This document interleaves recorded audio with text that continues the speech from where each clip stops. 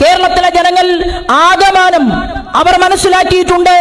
ഈ വളർച്ചയുള്ള ഒരു പാർട്ടി ആ വളർച്ച അത് നൈരന്തരമായി നടന്നുകൊണ്ടിരിക്കുന്ന ഒരു പാർട്ടി ഭാരത രാജ്യത്ത് ഇന്ത്യൻ പ്രധാനമന്ത്രിയെ സൃഷ്ടിക്കാൻ സാധിച്ചത് ഏറ്റവും കൂടുതൽ ആളുകൾ കൈപൊക്കിക്കൊണ്ട് ഒരു മുന്നണിയുടെ പോലും ബലമില്ലെങ്കിൽ കൂടി ഇന്ത്യൻ രാഷ്ട്രീയത്തിൽ ജനാധിപത്യത്തിൽ ഇന്ത്യയുടെ പാർലമെന്റിന്റെ ശ്രീകോവിലിനകത്ത് ഉണർന്നെണീറ്റു നിന്നുകൊണ്ട് ഇന്ത്യയുടെ പ്രൈം മിനിസ്റ്റർക്ക് ഏറ്റവും വലിയ ഭൂരിപക്ഷം നൽകിക്കൊണ്ടാണ് ഇന്ന് രാജ്യത്തിന്റെ ഭരണകൂടത്തിന് നേതൃത്വം നൽകിക്കൊണ്ട് ശ്രീമാൻ നരേന്ദ്രമോദി മുന്നോട്ട് പോകുന്നത്.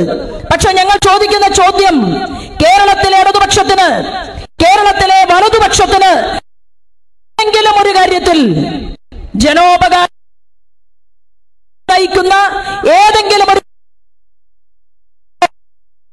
യു ഡി എഫിനും എന്ന ചോദ്യം ഭാരതീയ ജനതാ പാർട്ടി മുന്നോട്ട് വയ്ക്കുകയാണ്. വ്യത്യസ്തത നിങ്ങൾക്കുണ്ടായിരുന്നുവെങ്കിൽ തിരുവനന്തപുരത്ത് എന്റെയും നിങ്ങളുടെയും സഹോദരി സഹോദരന്മാർ ഉദ്യോഗാർത്ഥികൾ അവർ ഒരു തൊഴിലിനു വേണ്ടി അവർക്ക് അർഹതപ്പെട്ട തൊഴിലിനു വേണ്ടി ഒരു ചെറുപ്പക്കാരൻ പറഞ്ഞല്ലോ പാറമടയിൽ പാറ പൊട്ടിച്ചു കിട്ടിയ നാണയത്തുട്ടുകൾ ചേർത്ത് വെച്ചുകൊണ്ടാണ് ഞാൻ എന്റെ വിദ്യാഭ്യാസ ചെലവ് നിർവഹിച്ചത്. ആ നാണയത്തുട്ടുകൾ ചേർത്ത് വെച്ചുകൊണ്ടാണ് എന്റെ കുടുംബത്തിന്റെ ദാരിദ്ര്യം മാറ്റിയത്. ആ നാണയത്തുട്ടുകളെ ചേർത്ത് വെച്ചുകൊണ്ടാണ് ഞാൻ പി എസ് സി പരീക്ഷ എഴുതിയത്. അങ്ങനെ കഷ്ടപ്പെട്ട് പഠിച്ച് ഞാൻ പി എസ് സിയുടെ റാങ്ക് ലിസ്റ്റിൽ കയറിയിട്ടും ഈ ഗവൺമെന്റ് എന്റെ ഉൾപ്പെടെയുള്ള എന്റെ ഉദ്യോഗാർത്ഥികളുടെ അവകാശപ്പെട്ട റാങ്ക് ലിസ്റ്റ് നിലനിൽക്കെ തന്നെ പി എസ് സി എന്ന് പറയുന്ന ഭരണഘടനാ സ്ഥാപനത്തെ നോക്കുകുത്തിയാക്കിക്കൊണ്ട് കേരളത്തിന്റെ മണ്ണിൽ ലക്ഷക്കണക്കിന് പിൻവാതിൽ നിയമനങ്ങൾ നടത്തിയിരിക്കുന്നുവെന്ന് ആ ചെറുപ്പക്കാരന്റെ വാക്കുകൾ എനിക്കും നിങ്ങൾക്കും കേൾക്കാൻ സാധിച്ചു. കെ ടി ഡി സിയിൽ മാത്രം ആയിരത്തോളം വരുന്ന ആളുകളെ സരിത പോലുള്ള ഏജന്റുമാർ മുഖേന അഞ്ചു ലക്ഷം രൂപ കൈക്കൂലി വാങ്ങിക്കൊണ്ട് നിശ്ചയിച്ചു എന്നുള്ളത് എന്റെയും നിങ്ങളുടെയും മുന്നിൽ പ്രമുഖമായിട്ടുള്ള മാധ്യമങ്ങളിലൂടെ റിപ്പോർട്ട് ചെയ്യപ്പെട്ടു. ഈ കേരളത്തിലെ ജനങ്ങൾ അത് ചർച്ച ചെയ്തു.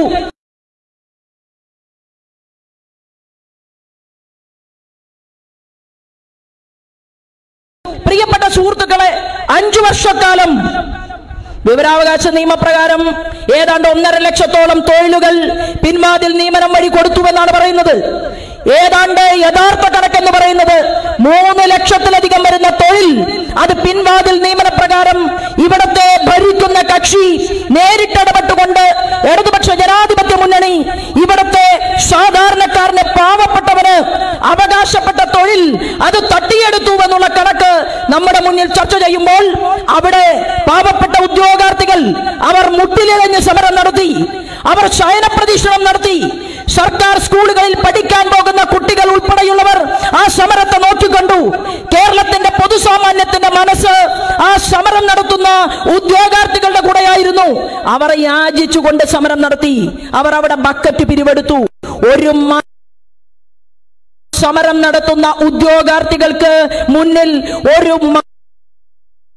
ചെന്നില്ല എന്നുള്ളത് ഈ കേന്ദ്രയുടെ അഹങ്കാരത്തിന്റെ തനിയാവർത്തനല്ലാതെ മറ്റെന്താണ് എന്നുള്ള ചോദ്യം അത് ഭാരതീയ ജനതാ പാർട്ടി മുന്നോട്ട് വയ്ക്കുമ്പോൾ പ്രിയപ്പെട്ട ജനാധിപത്യ വിശ്വാസികളെ ഇന്ന് ഇന്നലെ ഇവിടെ എലക്ഷന്റെ ഡിക്ലറേഷൻ നടന്നിരിക്കുകയാണ്. തെരഞ്ഞെടുപ്പ് വരാൻ പോവുകയാണ്. ഞങ്ങൾ ചോദിക്കുന്നത് അഞ്ചു വർഷക്കാലം ഈ ഉദ്യോഗാർത്ഥികളുടെ നഷ്ടപ്പെടുത്തിയത് ഇടതുപക്ഷക്കാരനാണെങ്കിൽ അതിന്റെ മുൻപ് ഐശ്വര്യയാത്ര നടത്തിയിട്ടുള്ള ശ്രീമാൻ രമേശ് ചെന്നിത്തല മറുപടി പറയണം. അങ്ങ് ആഭ്യന്തര വകുപ്പ് മന്ത്രിയുടെ കസേരയിൽ ഉണ്ടായിരുന്നു. അങ്ങയുടെ ലീഡർ കോൺഗ്രസുകാരനും കേരള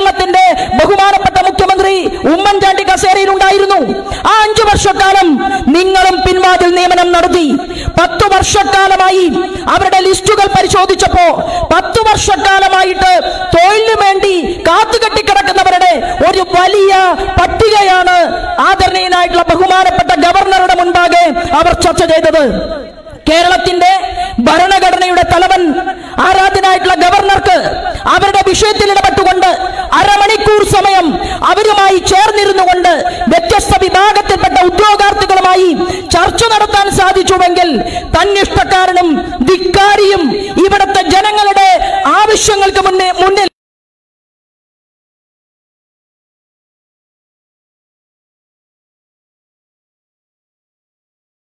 മുഖം തിരിഞ്ഞു നിൽക്കുന്ന മുഖ്യമന്ത്രി ഈ ഉദ്യോഗാർത്ഥികളുമായിട്ട് ചർച്ച നടത്താൻ തയ്യാറായില്ല എന്ന് മാത്രമല്ല ഉദ്യോഗാർത്ഥികളെ വിടുന്ന അവിടെ ഉദ്യോഗസ്ഥന്മാരെ ഉദ്യോഗാർത്ഥികളുമായി ചർച്ചയ്ക്ക് വിടുന്ന ഒരു സമീപനം എനിക്കും നിങ്ങൾക്കും കാണാൻ സാധിച്ചു. ഇപ്പൊ ഇടതുപക്ഷവും വലതുപക്ഷവും രക്ഷപ്പെട്ടു. കാരണം ഇനി എലക്ഷൻ കഴിഞ്ഞ് അടുത്ത ഭരണകൂടം അധികാരത്തിൽ വന്നാൽ ഈ കാര്യത്തെ അഡ്രസ് ചെയ്താൽ മതി എന്നാണ് അവർ വിചാരിച്ചിട്ടുള്ളത്. പക്ഷേ നീതിപൂർവം നിഷ്പക്ഷപൂർവം ഉദ്യോഗാർത്ഥികളുമായി ചേർന്ന് നിന്നുകൊണ്ട് അവർ പറഞ്ഞ മുഴുവൻ കാര്യങ്ങളും കേൾക്കുകയും മനസ്സിലാക്കുകയും ചെയ്തുകൊണ്ട് ആരാധ്യനായിട്ടുള്ള ഗവർണർ ഈ ഭരണഘടനയുടെ ഉണ്ട് എന്നുള്ള ഒരു സൂചന ഈ അവസരത്തിൽ ഉദ്യോഗാർത്ഥികൾ സന്തോഷപൂർവം ഹൃദയപൂർവം സ്വീകരിച്ചിട്ടുണ്ട് എന്നുള്ളതും കേരളം ചർച്ച ചെയ്തിട്ടുള്ള ഒരു വിഷയമാണ്. ഞങ്ങൾ ഇന്നലെ ഒരു പ്രഖ്യാപനം കണ്ടു. മാർസിസ്റ്റ് പാർട്ടിയുടെ ലീഡർ എസ് രാമചന്ദ്രപിള്ള. അദ്ദേഹം പറഞ്ഞത് ഈ തെരഞ്ഞെടുപ്പ് കഴിഞ്ഞാൽ അസംബ്ലി തെരഞ്ഞെടുപ്പ് കഴിഞ്ഞാൽ രാഹുൽ ഗാന്ധി ഉൾപ്പെടെയുള്ളവർ അറബിക്കടലിൽ ചാടും എന്നാണ് രാമചന്ദ്രപിള്ള പറഞ്ഞിട്ടുള്ളത്. ഞങ്ങൾ ചോദിക്കുന്നത് സർ രാഹുൽ ഗാന്ധി കടലിൽ മുങ്ങി ചാവാൻ നിൽക്കുമ്പോൾ കടലിൽ ചാടുമ്പോൾ രക്ഷാ ജാക്കറ്റും ലൈഫ് ബോട്ടുമായി രാഹുൽ ഗാന്ധിയെ രക്ഷിക്കാൻ നിങ്ങളുടെ സീതാറാം യെച്ചൂരി വരില്ല എന്ന് നിങ്ങൾക്ക് നെഞ്ചത്തെ കൈവച്ചു പറയാൻ സാധിക്കുമോ?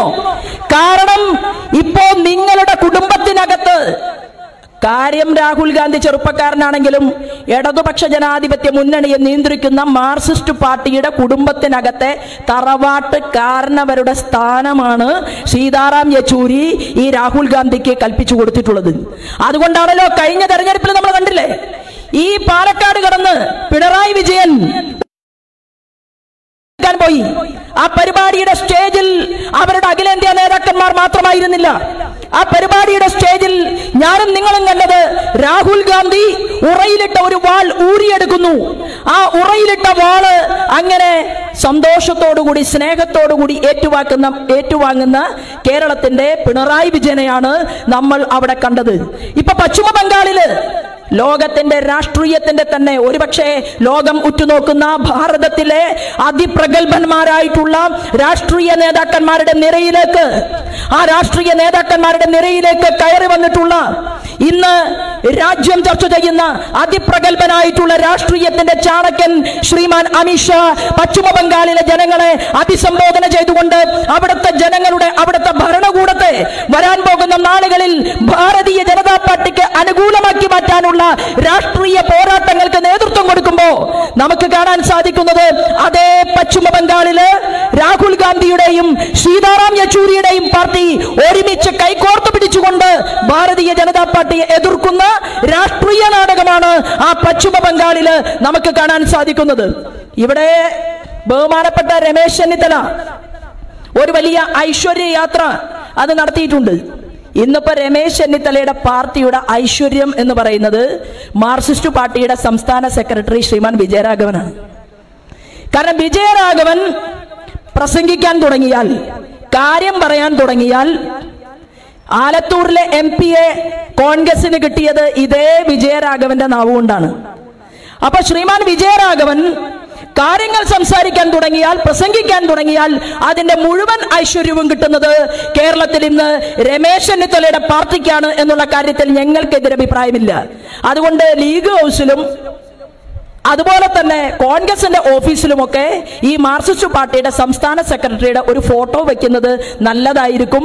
ഈ വരാൻ പോകുന്ന അസംബ്ലി തെരഞ്ഞെടുപ്പിലും ചില ഗുണങ്ങളൊക്കെ മാർക്സിസ്റ്റ് പാർട്ടിക്ക് മാർക്സിസ്റ്റ് പാർട്ടിയുടെ വിജയരാഘവൻ കോൺഗ്രസിന് ഉണ്ടാക്കി തരും എന്നുള്ള കാര്യത്തിലും യാതൊരു സംശയവുമില്ല. അപ്പൊ നമ്മളെ സംബന്ധിച്ച് ഭാരതീയ ജനതാ പാർട്ടി നമ്മുടെ പ്രസ്ഥാനം ആ പ്രസ്ഥാനത്തിന് കൃത്യമായിട്ടുള്ള നയമുണ്ട്. ആ കൃത്യ കൃത്യമായിട്ടുള്ള നയത്തിന്റെ അടിസ്ഥാനത്തിലാണ് വിവിധ സംസ്ഥാനങ്ങളിൽ നമ്മുടെ പാർട്ടി ആ പാർട്ടിയിലേക്ക് മറ്റു മുന്നണികൾ ഉൾപ്പെടെയുള്ളവർ കടന്നു വരുന്നത്. ഇന്നലെ എന്നെ കുറിച്ച് ആലോചിച്ച് ശോഭാ സുരേന്ദ്രന്റെ സ്ഥിതി എന്താണ് എന്നാലോചിച്ച് വളരെയധികം ആശങ്കപ്പെടുന്ന ഒരു കോൺഗ്രസിന്റെ ലീഡറുടെ പ്രസ്താവന എന്റെ ശ്രദ്ധയിൽപ്പെട്ടു. ആ കോൺഗ്രസിന്റെ ലീഡർ ശ്രീമാൻ മുരളീധരനാണ്. അപ്പൊ ശ്രീമാൻ മുരളീധരൻ എന്നെ കുറിച്ച് ഓർത്ത് ആശങ്കപ്പെടുന്ന ഒരു ലീഡറാണ്.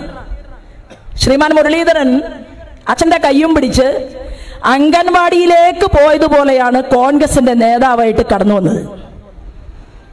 അപ്പോ എന്റെ തൂക്കം നോക്കാൻ ശ്രീമാൻ മുരളീധരൻ നിൽക്കണ്ട. എന്റെ തൂക്കം രണ്ടായിരത്തി നാലിൽ വടക്കാഞ്ചേരിയിൽ ഉപതെരഞ്ഞെടുപ്പിൽ ഭാരതീയ ജനതാ പാർട്ടിയുടെ സ്ഥാനാർത്ഥിയായിട്ട് ഞാൻ മത്സരിച്ചപ്പോ കൃത്യമായി ബി ജെ പിയുടെ വോട്ടുകൾ ഇരട്ടിയാക്കിയിട്ട് ആ ശ്രീമാൻ മുരളീധരനെ വടക്കാഞ്ചേരിയിൽ മാറാടിന്റെ മറുപടി ബാലറ്റിലൂടെ എന്നുള്ള മുദ്രാവാക്യത്തിലൂടെ അടിയറവ് പറയിപ്പിച്ചതിന്റെ കൊതിക്കറവാണ് ശ്രീമാൻ മുരളീധരൻ ആ സ്റ്റേറ്റ്മെന്റിലൂടെ തീർത്തിട്ടുള്ളത്. പക്ഷേ ഞാൻ എന്തായാലും എന്റെ അച്ഛൻ ഒരു കർഷകനായിരുന്നു. ഒരു കൂലിപ്പണി എടുക്കുന്ന ഒരു സാധാരണ നാട്ടിൻപുറത്തുകാരൻ അപ്പോ എന്റെ അച്ഛന്റെ രാഷ്ട്രീയ മേൽവിലാസത്തിലല്ല ഞാൻ ഭാരതീയ ജനതാ പാർട്ടിയിൽ പതിറ്റാണ്ടുകൾ പ്രവർത്തിച്ചത് ശ്രീമാൻ മുരളീധരനെ പോലെ. അതുകൊണ്ട് തന്നെ വരാ ഒരു മന്ത്രി ഒരു വകുപ്പ് കൈകാര്യം ചെയ്തിരുന്ന ഒരു മന്ത്രി ഉപതെരഞ്ഞെടുപ്പിലെ തോറ്റുകൊടുത്ത് ചരിത്രം സൃഷ്ടിച്ചിട്ടുണ്ടെങ്കിൽ അതിനൊരു താമ്രപത്രം കൊടുക്കേണ്ടത് ശ്രീമാൻ മുരളീധരനാണ് എന്നുള്ള ഒരു അഭിപ്രായം കൂടി ഞങ്ങൾക്കുണ്ട്. മറ്റൊന്ന് ഞങ്ങളെ സംബന്ധിച്ച് ഞാൻ പറഞ്ഞ നിലപാട് മുസ്ലിം ലീഗിനെ സംബന്ധിച്ചാണ്. ആ നിലപാടെന്ന് പറയുന്നത് ഭാവി കേരളത്തിൽ ഭരണകൂടത്തിന് നേതൃത്വം നൽകാൻ പോകുന്ന ഒരു പാർട്ടിയുടെ നിലപാടാണ്. ആ നിലപാടിൽ എന്താണ് തെറ്റുള്ളത്? മുസ്ലിം ലീഗ് എന്ന് പറയുന്നത് വർഗീയ പാർട്ടിയാണ്.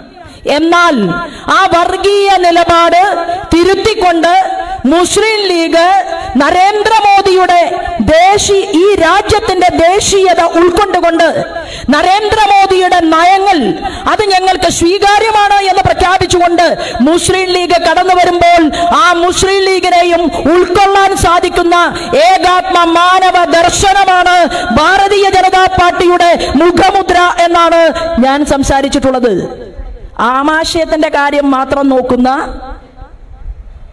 രാഷ്ട്രീയത്തിലെ തങ്കഗോപുരങ്ങൾ മാത്രം കീഴടക്കാൻ നടക്കുന്ന ശ്രീമാൻ മുരളീധരന് ഒരുപക്ഷെ അതിന്റെ അർത്ഥം മനസ്സിലായിട്ടില്ലെങ്കിൽ അതിന്റെ ഉത്തരവാദിത്വം എനിക്കുള്ളതല്ല.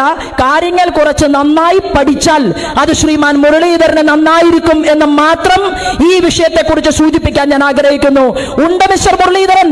ഞങ്ങൾ നാഷണൽ കോൺഫറൻസുമായി കാശ്മീരിൽ ഭരിച്ചിട്ടുണ്ട്. ഒരു ഘട്ടത്തിൽ കാശ്മീരിന്റെ ദേശീയ ധാരയിലേക്ക് ഭീകരത ഉപേക്ഷിച്ചുകൊണ്ട് ചില കക്ഷികൾ തയ്യാറായപ്പോൾ ആ കക്ഷികളുമായി ചർച്ച നടത്താൻ വേണ്ടി അഖിലേന്ത്യാ നേതൃത്വം ഞങ്ങളുടെ ആരാധനായിട്ടുള്ള ശ്രീമാൻ രാമ മാധവനെ നിയോഗിച്ചിട്ടുണ്ട്. അന്ന് അദ്ദേഹം ഭാരതീയ ജനതാ പാർട്ടിയുടെ അഖിലേന്ത്യാ ജനറൽ സെക്രട്ടറിയാണ്. ആ ശ്രീമാൻ രാം മാധവ് കാശ്മീരിന്റെ മണ്ണിൽ ഈ രാജ്യത്തിന്റെ സനാതന മൂല്യങ്ങൾ ഉൾക്കൊണ്ടുകൊണ്ട് ദേശീയത ഉൾക്കൊണ്ടുകൊണ്ട് ഈ പ്രസ്ഥാനത്തിന്റെ മികവ് മനസ്സിലാക്കിക്കൊണ്ട് ഈ രാജ്യം ഒന്നാണ് എന്നുള്ള പ്രഖ്യാപനത്തെ അംഗീകരിക്കുന്നവരുമായി അതിന് തയ്യാറുള്ളവരുമായി ചർച്ചയ്ക്ക് പോയിട്ടുണ്ട്. ചർച്ച വിജയപഥത്തിലെത്തിയിട്ടുണ്ട്. കാശ്മീരിൽ ബി ജെ പിയുമായി ഞങ്ങളുടെ മുന്നണി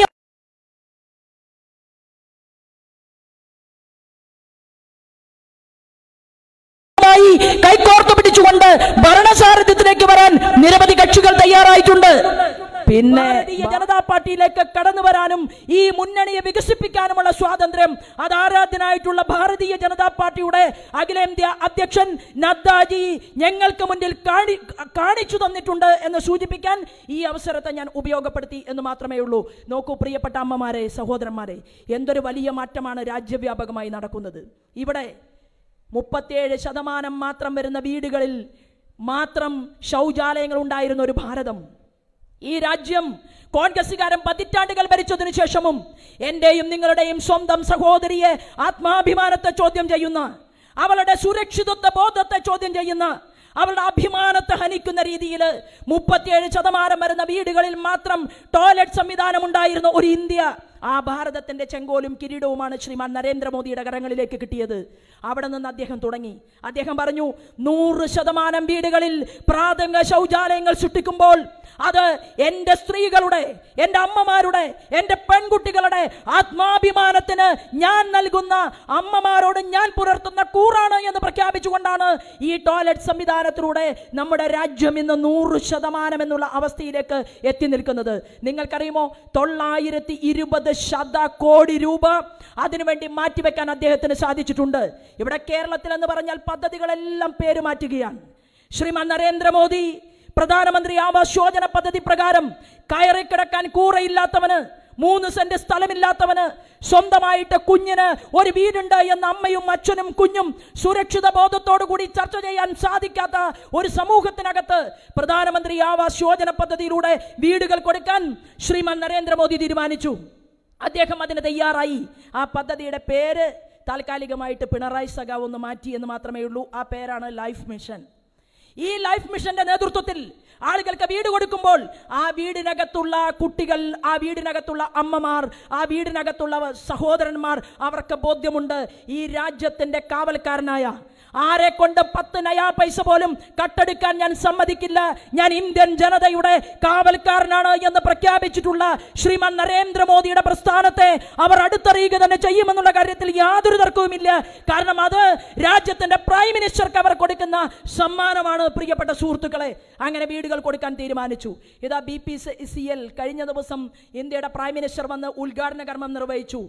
അതായത് വ്യവസായ പുരോഗതിക്ക് ഉതകുന്ന നാലായിരം കോടി രൂപയോളം ഒരു വർഷം ചെലവ് വരുന്ന ആ പദ്ധതി നമ്മുടെ നാട്ടിൽ കൊച്ചിയിൽ ഉദ്ഘാടന കർമ്മം നിർവഹിച്ചപ്പോൾ എത്രയോ ആളുകൾക്ക് തൊഴിൽ കിട്ടുന്ന ഒരു സാഹചര്യം ഉണ്ടായി ഇൻഫ്രാസ്ട്രക്ചർ ഡെവലപ്മെന്റിനെ കുറിച്ച് പറഞ്ഞാൽ കേരളത്തിന്റെ റോഡുകൾ മുഴുവൻ വികസിപ്പിക്കുന്ന ഒരു സാഹചര്യത്തിലൂടെ ഈ രാജ്യത്തിന്റെ റോഡിന്റെയും അതുപോലെ തന്നെ പ്രവർത്തനങ്ങൾ നിയന്ത്രിക്കുന്ന ശ്രീമാൻ നിതിൻ ഗഡ്കരിക്ക് ഈ നാട്ടിലേക്ക് ചോദിക്കുന്നതിനേക്കാൾ കൂടുതൽ ഫണ്ട് ആ മേഖലയിലേക്ക് കൊടുക്കാൻ നമ്മുടെ വകുപ്പ് മന്ത്രിക്ക് സാധിച്ചു.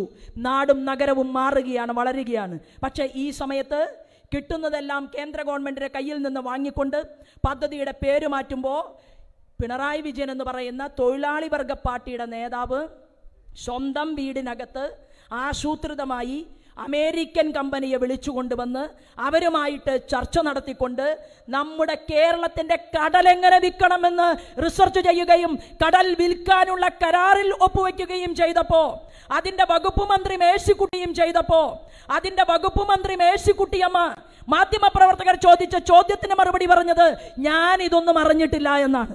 മേഴ്സിക്കുട്ടിയമ്മയുടെ ഉദ്യോഗസ്ഥന്മാർ ഇത്രയും വലിയ ഒരു കരാറിൽ എന്റെയും നിങ്ങളുടെയും ആയിരക്കണക്കിന് കോടി രൂപ കട്ടുമുടിക്കുന്ന കരാറിൽ ഒപ്പുവെച്ചപ്പോ അത് ഉദ്യോഗസ്ഥന്മാർ ഒപ്പുവെച്ചതാണ് എന്ന് പറയുന്നു.